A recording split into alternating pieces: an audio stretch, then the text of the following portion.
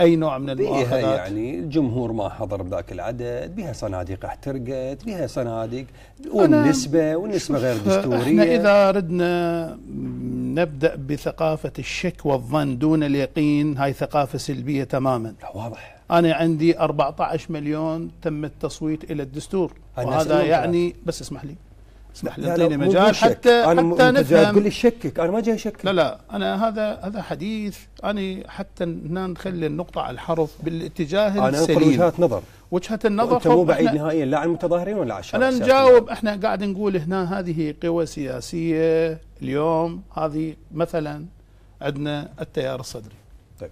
سائرون طيب. حصل على 54 مقعد مهم.